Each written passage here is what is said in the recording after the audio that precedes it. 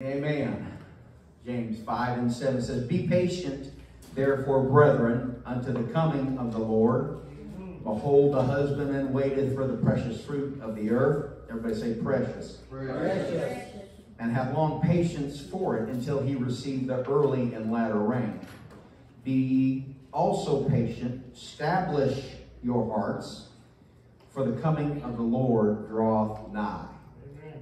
Amen. Let's pray, Jesus. We thank you for your precious word, God. I pray for an anointing on my lips, on my mind, on my heart, but open the ears and the hearts of the hearers, God, that this word could get into their minds and spirits. Strengthen them today. Help them today, God. Help us, Lord, to feel something in the spirit today that changes the direction of our life. I pray answers are given today. Lord, direction is given today. Doors are open. Walls are broken down. God, I pray help us to serve you better in Jesus' beautiful name. Amen. Turn to your neighbor and say, You are precious. You are precious. Some of you are being sarcastic, but y'all precious. Amen. You may be seated. I'll be nice now. Amen. There is a God who created all of us. And his name is revealed to us as Jesus, the Christ, the Messiah.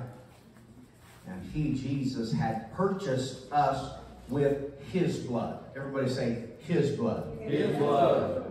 We are precious to Precious. God. I knew Susan will have to do, you know, anyway. Y'all are precious. But to God, we are precious. I, I looked the definition of that word up, and it means of great value. Of great value. So my grandbabies are precious to me, and I have great value for them. Your children in this church are precious to me, and they have great value to me. Uh-huh. Yes. And so um, I, I love my old boss. His name was Roger. You might watch this, but uh, he would say things like, "You know, Matt, we uh, we put up with you so we can fellowship with your precious wife." and I just said, "Well, thank you. I appreciate that." So, but sometimes you can't see the value that God puts on us. And we have this habit of valuing each other.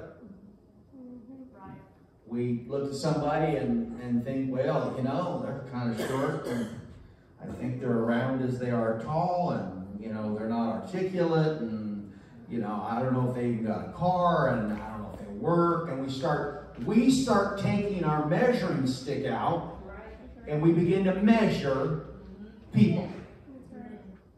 But God does not look at man as flesh. Come on. Uh, I, I, I've got bad news and good news, and I'm going to give you the bad news first. You don't get better with age. That's right. I know that's a reality some of you are starting to step into. You hit that 30 mark and thought, oh, I'm in good shape. You went to bend over one day and, oh! And when you're 40, it gets better. You can't get up and you're yelling, help, somebody get me. And when you're 50, it, it takes a crowd. And so my point is you're not getting better with this body. It's getting worse. But as long as you're serving God, in His eyes, your value keeps going up and up and up. Because He don't look at you like man looks at you. We value what you can do. We value how you look. I don't care what anybody says. Everybody in this world, you get on TV. They don't put ugly people on TV. Not trying to in- interview ugly people. They're trying to get the, the beautiful people. They the, all, the, all the telecasters and newscasters and all these sports, man, their faces are, are stretched so tight. I, I, I've looked some of the age of some of these people up, and they're older than me. This is what 55 looks like, okay? I'm a good example of 55. And Cecil, you're wearing 70, almost 76 really well. But you ain't caught up with him over there in the corner. He looks great for his age. He's about to be 80, right? Hmm. Let me tell you something. God values us from his perspective. Because this old clay that's getting old in his mind is that's what this clay means nothing to God because God can make you a new body. That's his plan. So he's he's looking for things that are precious to him. And when he sees somebody that has bowed their knee and humbled themselves and begin to call on his name, and we bury them in the waters back there in Jesus' name, and then he fills them with their spirit. In, in his eyes, they're precious. Uh-huh. Come now. They're precious. 1 Corinthians 6.19 says, What? Know ye not that your body is the temple of the Holy Ghost, which is in you, which ye have of God, and ye are not your own. For ye are bought with a price. You're bought with a price. Let me tell you something. How many bought a car with your money? How many bought a piece of land with your money? Got a house on it. You, you, you purchased something that was yours with your money. Just let somebody fiddle with something that you, you bought. I, I don't mind giving somebody a ride in my car, but don't go over there and beat my car up. That's my car. I paid for it. And to me, as long as it's running, it's precious. That's right. This fat boy don't like to walk. That's right. And the older you get, the more precious that car becomes. In God's eyes, He does not value you like we value each other. On. He's looking at what He's building in you. I know you got some wrinkles and maybe some gray hair. Maybe you're not as talented as the next, but He bought you with a price for a reason because when He looked at you, He saw value. Come on. He saw something I want. I want that. And I'm willing to pay for it. You know what I love about God? He doesn't give us some vague relationship. He's not, he, in his mind, I bought you. Why? Because I love you. Man. Nobody wanted you, but I wanted you. When you were in the ditch, you were running and hungry, and nobody will look at you. I wanted you. That'll bring And I bought you. Yes. You're mine, saith the Lord. Thank you, Jesus. There's a whole difference between having a relationship with somebody where you're wondering, well, I don't know if I'm good enough. Well, I don't know if, if they're going to love me. That's not God's relationship. He bought you. He bought you. I'm not a slave to God, but I'm purchased by His blood. You know what that gives me? That gives me identity. What are you, Matt? I'm a child of a great king. I have a place coming for me. I've got somebody I can call on. I got resources if I need Yes. it. Yes. I'm bought.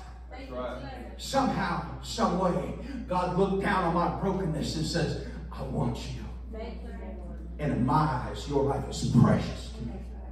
That's good. Hmm. Come I'm on. good with that. I'm, I'm good with that. I, I don't mind being bought because in God's eyes, I'm precious. I'm precious. I know sometimes we, we, we use that word in a little mocking sense. You see a little somebody being a little different. You're like, oh, they're just precious.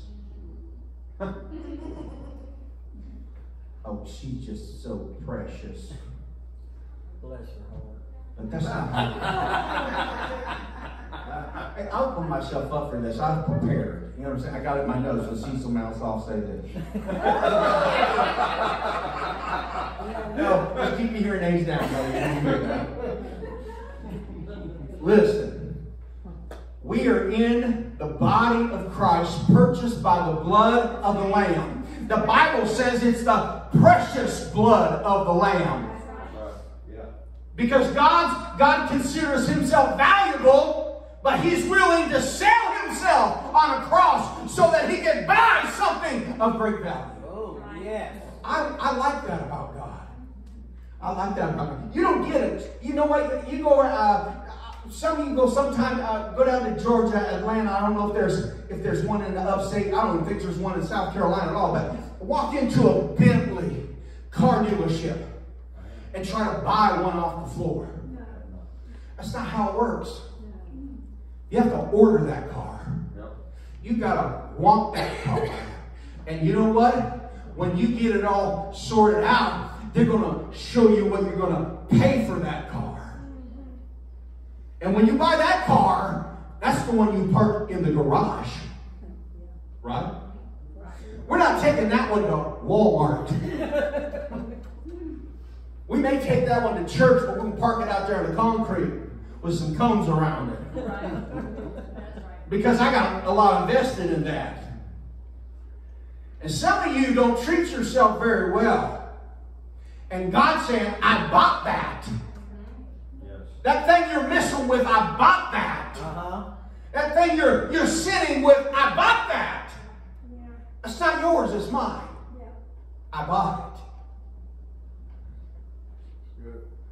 Sometimes it's hard to understand the relationship we have with God, and, and sometimes we put God in, in, in that category of convenience. When it's convenient, I go to church. When it's convenient, I read my Bible. When it's Come on now. convenient, I pray. When it's convenient. But that's not the relationship He has towards you. He's committed. When He spread those arms on a cross and blood flowed from His body. And when He looked up to heaven and said, Father, Father, forgive them. For they know not what they do. He was there on the cross, purchasing you with his blood, just how you were. Uh-huh.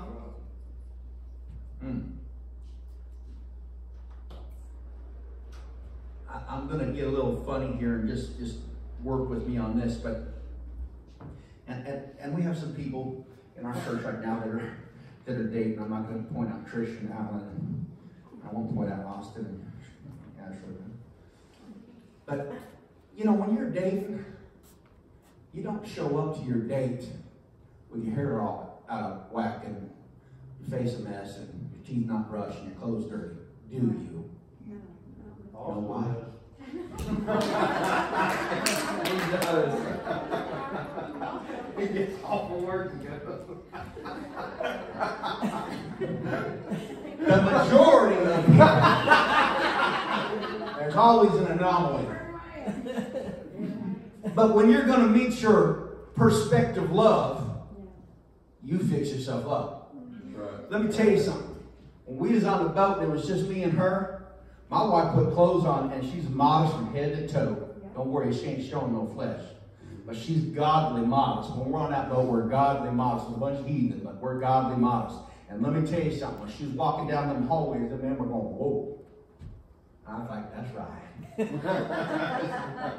That's right. That's right. Uh, you want something like this, you better take over payments, you better have a good job. Things like this don't come cheap. The way God looks at things is you're His bride. You're not some cheap little something on the side. He's going to clothe you with His glory right. and His power right. and His majesty.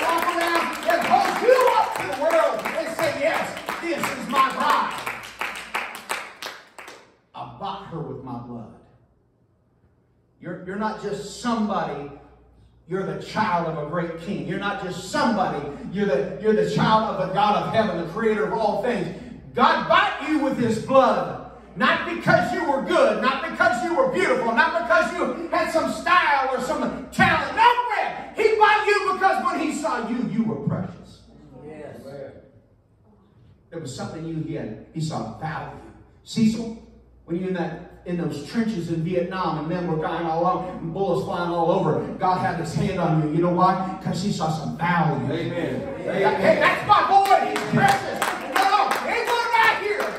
Not today. Amen. Bible says a thousand on my right hand and ten thousand on my left, but it doesn't come nigh me. Why? Because you are bought with a price. You are the bride of Christ. You are precious in His sight. That's right. There are things that we have to understand about God. And, and when He looks at you, He looks at you as, as not just possession, not somebody that just, He's gonna, you're not an automaton, he, He's not gonna control you. But He, he puts it in you, He, he gives you the earnest uh, gift He can, His presence. And, and, and last Sunday we were praying around this altar and the Spirit of God just filled this house and we were weeping and crying because you could just feel the power of God flowing. Hallelujah. You could just feel it. You just you didn't want to leave. You just wanted to soak it up. What was it? That was God just showing you this is just a little taste of what I got for my precious people. Oh, we're just warming up here because these are just a little touch. This I'm just breezing.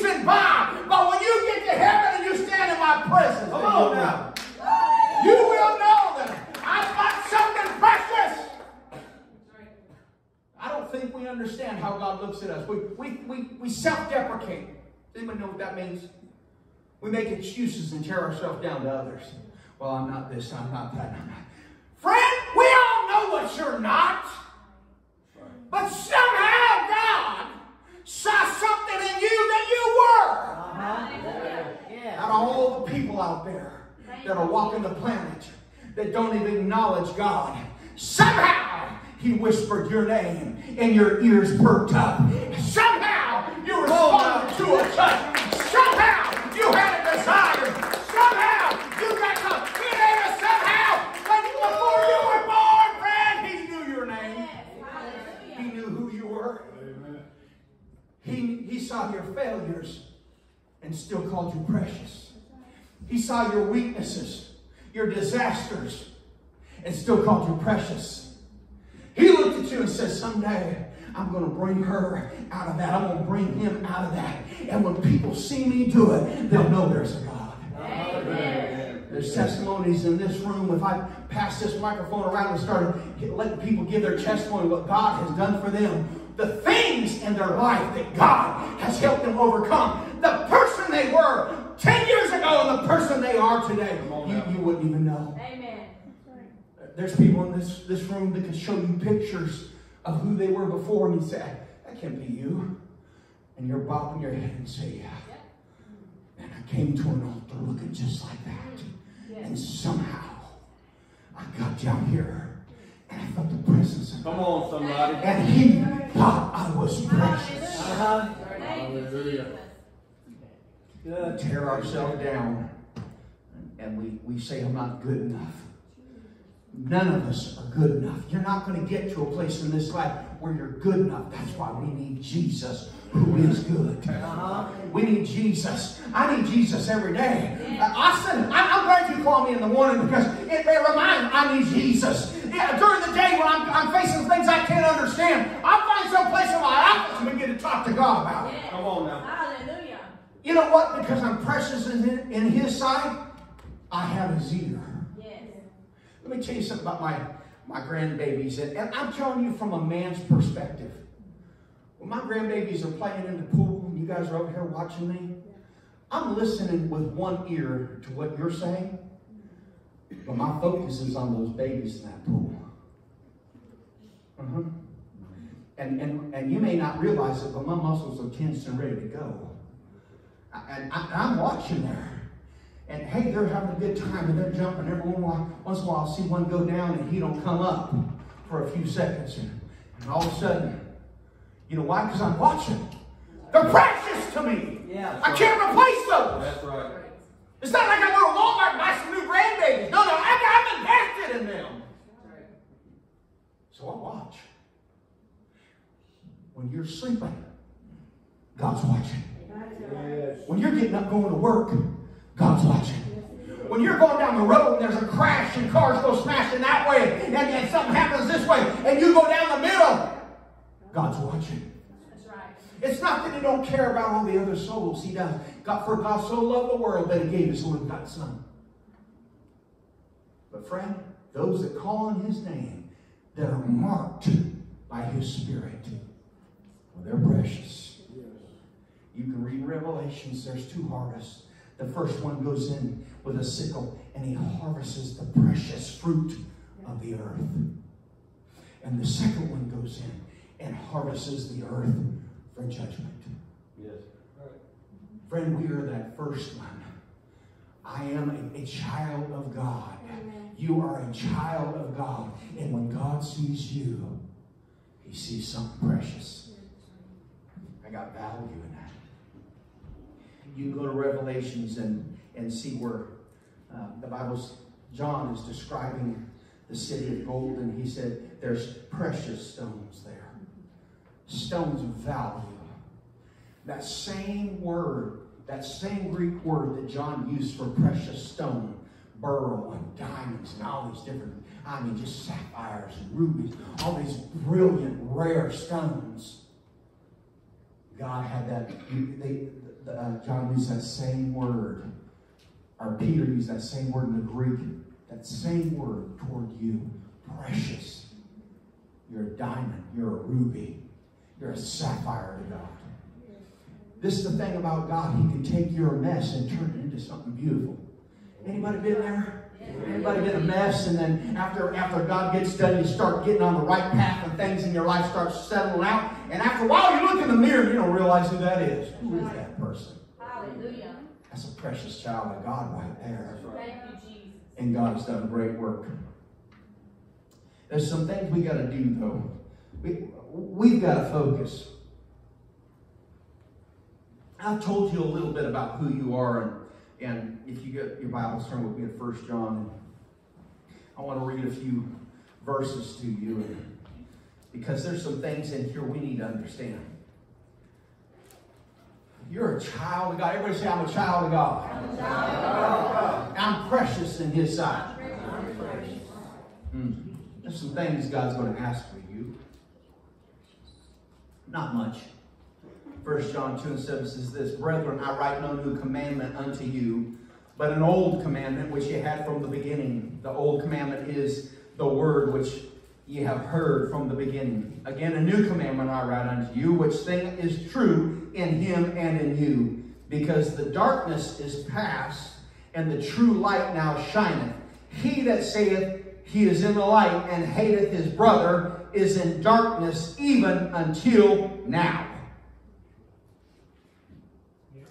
He that loveth his brother abideth in light, and there is none occasion of stumbling in him.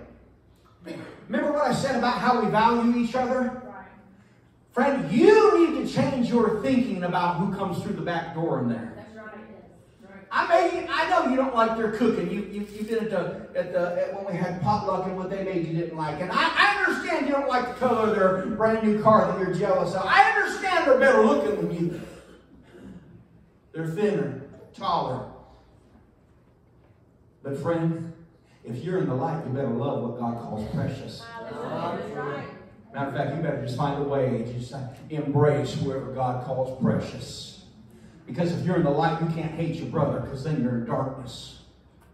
Sometimes we wonder why we don't really get from God what we, we think we should have from God. Well, I see other people getting blessings. I see God take care of problems for other people. I see, I see things happen in their lives, and I'm not sure why it's not happening in mine. Friend, you need to look around and see how you're treating God's people. This isn't casual. This is who I am. Right. I'm a child of God. I'm precious. I'm bought with a price. So I need to live in a way that glorifies God. Hallelujah. Unless other people know that they can live just like me. That's right. Just like me. Yeah, I'm not, I'm not unique. I'm made by God.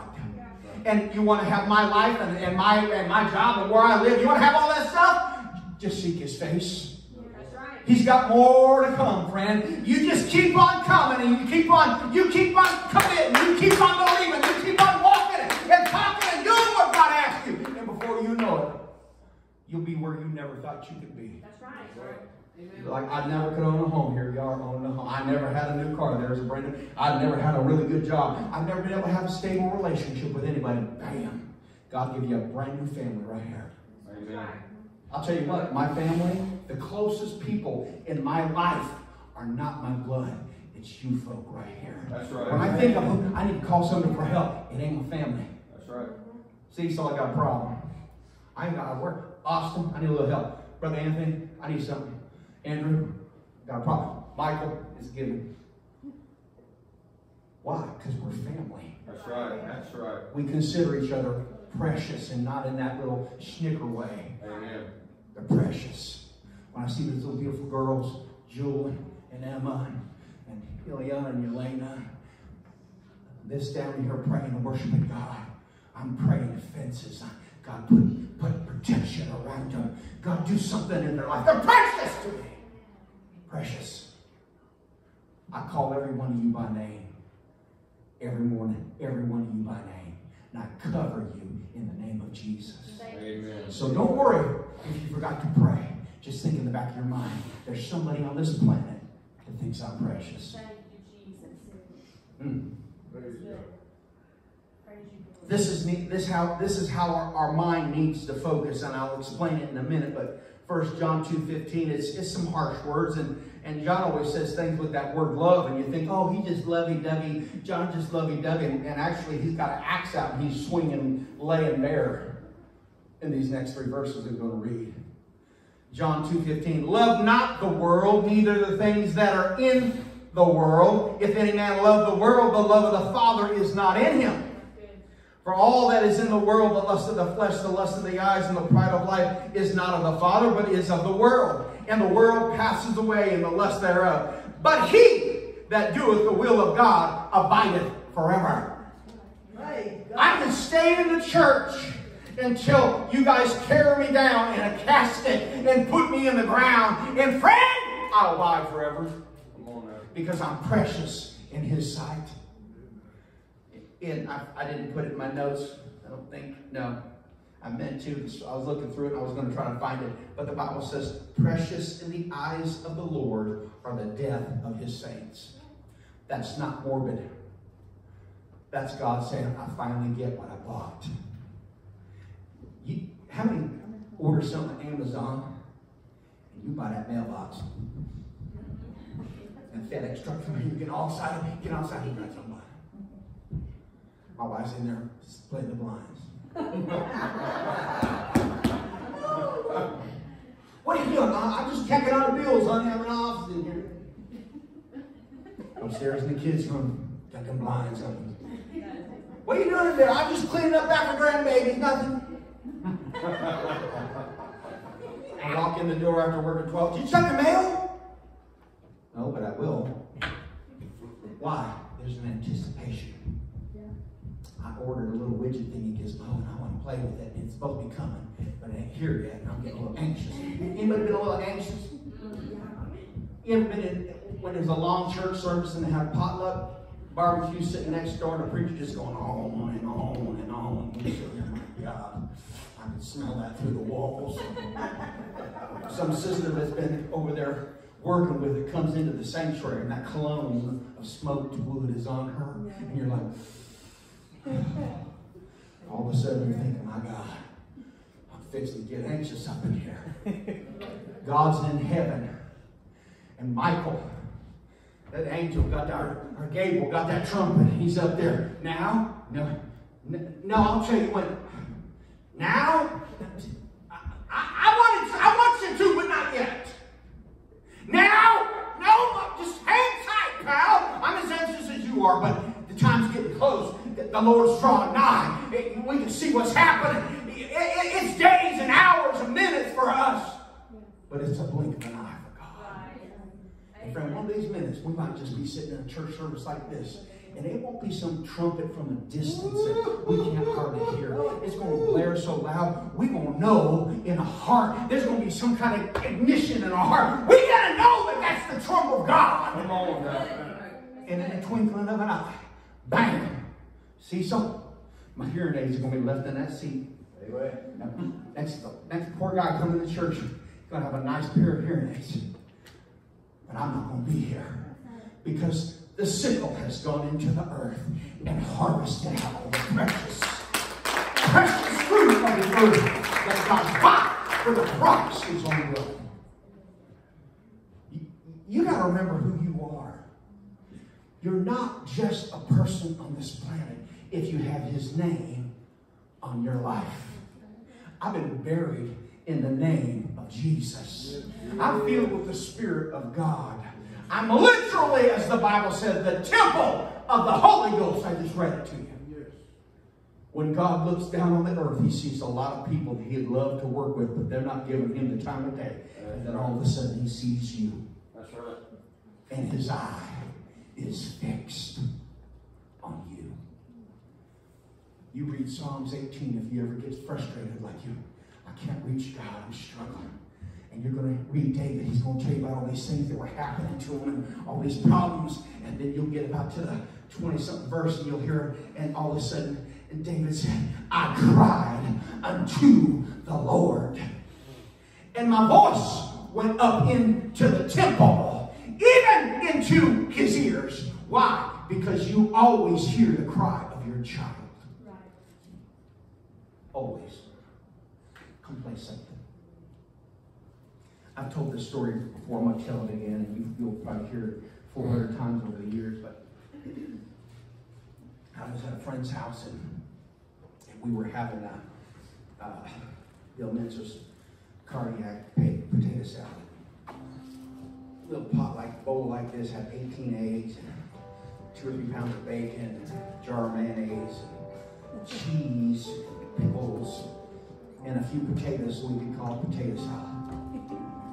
And I had spooned a big old slab of it on a plate, and we had some grilled chicken and some salad, all this good stuff on this plate. And I had just sat down in their little kitchen area, and, and if you picture the stove and everything's over here, and it's just a little bitty thing, maybe 12 by 12 or even smaller. You've got the kitchen table and the exits over there, and, Bill's here, and Kim's here, my wife's at the end, and, and we're just sitting, because the table's against the wall, we're just sitting in a U, and all of a sudden, you know, kids are out there screaming and hollering. My, my kids make noise. How many know your kids just make noise when they're playing? But all of a sudden, I heard that noise.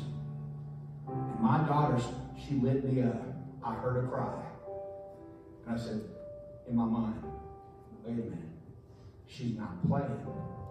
It was that, it was that tenor of her voice.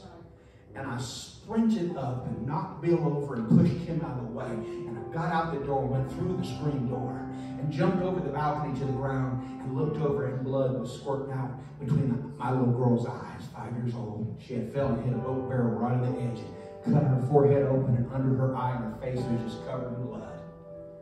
And I snatched her up and covered all those little holes. And I wrapped her up in my arms. And I said, Get in the car and take me to the hospital. And I, I sat there like this, holding her. And I did not leave her side or let go of her until we got her home and put her in bed.